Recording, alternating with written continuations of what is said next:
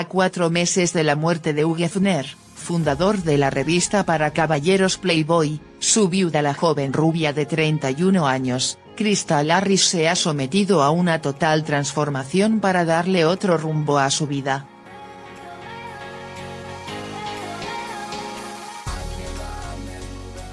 De acuerdo con Vive USA, Crystal Harris dejó atrás el glamour, el terciopelo, los tacones y las excesivas fiestas de Playboy para dedicar su vida a viajar y hacer trabajo humanitario por el mundo.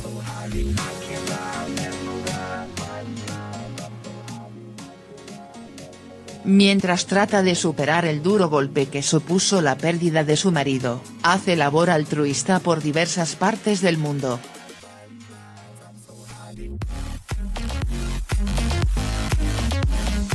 En una entrevista para The Sunday Telegraph, la sexy rubia declaró, le echo de menos cada día.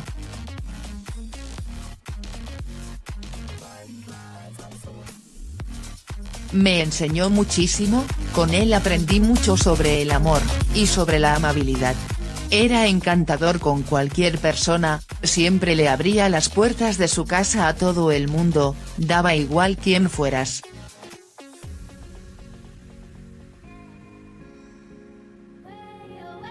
La vida de Cristal Harris dio un giro de 180 grados, cuando era playmate lucía atuendos atrevidos y como esposa del magnate optó por los vestidos de lujo y las joyas ostentosas, el maquillaje excesivo, las pieles y los colores metálicos eran parte de su look.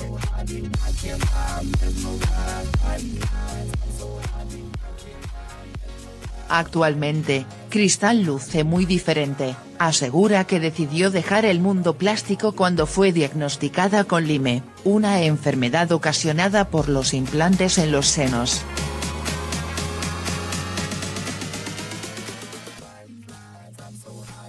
Afirma que es más feliz sin tanto maquillaje y más aterrizada, ahora me siento más feliz siendo natural.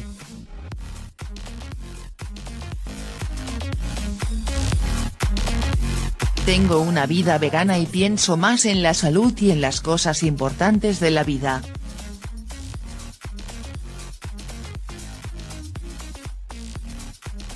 Me siento yo más que nunca. Ahora, Cristal Harris viaja a África para ayudar a niños de Botsuana en situación de pobreza y está involucrada en actividades de protección de animales,